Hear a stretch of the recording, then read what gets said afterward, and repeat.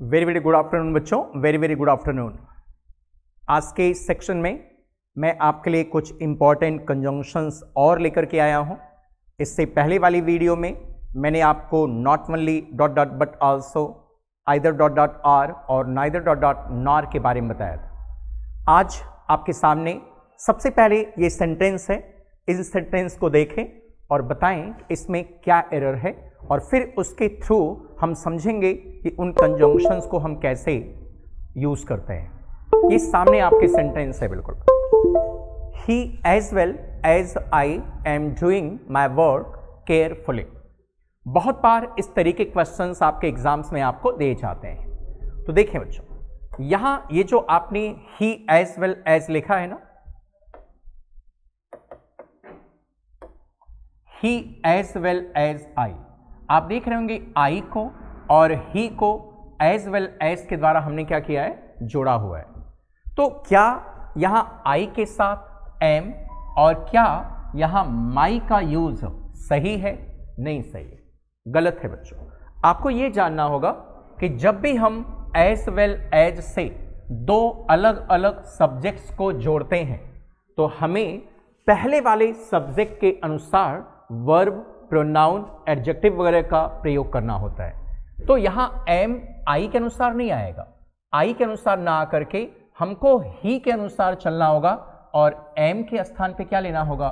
Is लेना होगा। ठीक है? और माई के स्थान पे क्या लेना होगा? हिज लेना होगा। क्लियर यानी एज वेल एज के साथ ही के अनुसार चलना होगा, न कि आई के अनुसार। ऐसी कंडीशन में आप ये भी कह सकते हैं कि आई के साथ इज़ भी लग सकता है। देख लें। He as well as I is doing his work carefully हो जाएगा। अगर आपने कम समझा हो तो ये सेंटेंस फिर से करके देखें, आप बेहतर कर लेंगे आप।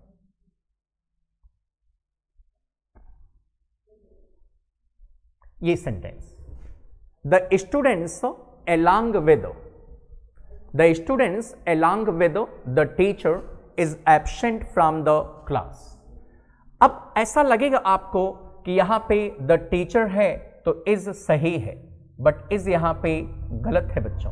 क्यों गलत है? कि जैसे एज वेल एज के साथ आपको पहले वाले सब्जेक्ट के अनुसार चलना होता है, वैसे ही एलांग विद के साथ भी हमको पहले वाले सब्जेक्ट के अनुसार चलना होता है। तो अगर द स्टूडेंट्स है एलांग विद से पहले तो यहाँ पर इज़ न होकर के क्या हो जाएगा? आर हो जाएगा। The students along with the teacher are absent from the class यानी टीचर के साथ साथ जो स्टूडेंट्स हैं, वो भी क्लास से क्या हैं?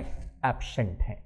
तो आपके मन में आ रहा होगा कि ऐसी और कौन कौन सी कंजंक्शंस या कौन कौन सी फ्रेजेस हैं जिनके होने पर हमें पहले वाले सब्जेक्ट के अनुसार यूज़ करना होता है। तो वो ये है बच्चों। ये सारी कंजंक्शंस आपकी कभी भी अगर एज वेल एज का प्रयोग हो विद का प्रयोग हो एलांग विद का प्रयोग हो टुगेदर विद का प्रयोग हो बिसाइड्स का प्रयोग हो लाइक like का प्रयोग हो बट का प्रयोग हो रेदर देन का प्रयोग हो इन एडिशन टू का प्रयोग हो एंड नॉट का प्रयोग हो इंक्लूडिंग का प्रयोग हो एक्सक्लूडिंग का प्रयोग हो लेड बाई का प्रयोग हो अकम्पनीड बाई का प्रयोग हो गवर्नड बाई का प्रयोग हो कॉल्ड बाई का प्रयोग हो ऑर्गेनाइज्ड बाई का प्रयोग हो कंडक्टेड बाई का प्रयोग हो कैंसिल्ड बाई का प्रयोग हो पोस्टपोन्ड बाई का प्रयोग हो इन कंपैरिजन टू का प्रयोग हो तो इनके रहने पर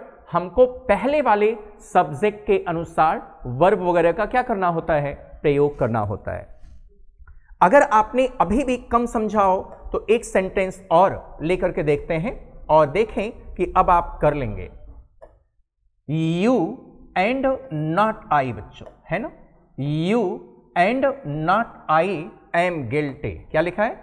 You and not I am guilty तो जैसे आपने देखा यू के बाद एंड नॉट का प्रयोग है तो आई के अनुसार नहीं चलेंगे। किसके अनुसार चलेंगे?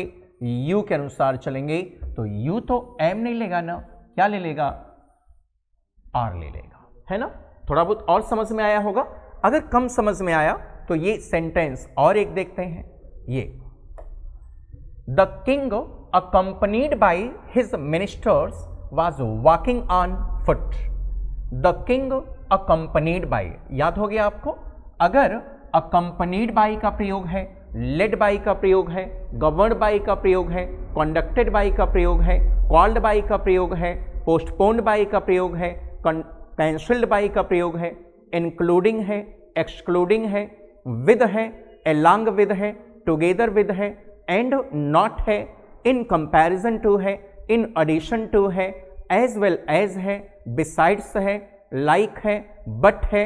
अगर ये हैं तो हमें पहले वाले सब्जेक्ट के आधार पे चलना है। तो जैसे हमने देखा अकंपनीड बाई तो हमें द किंग के आधार पे चलना है न कि द मिनिस्टर्स के आधार पे तो यहाँ पे वाज ऑलरेडी क्या है आपका? सही है। ऐसा लगेगा ना? The king accompanied by his ministers were walking ऐसा बोलने में अच्छा लगेगा। लेकिन जैसे हमने जाना कि अकंपनीड बाय दिया गया है तो हमको द किंग के अनुसार चलना है, जो ऑलरेडी यहाँ पे क्या दिया गया है? सही दिया गया है। आई होप कि ये कंजंक्शंस या वर्ड्स फ्रेजेस आप तैयार कर लेंगे।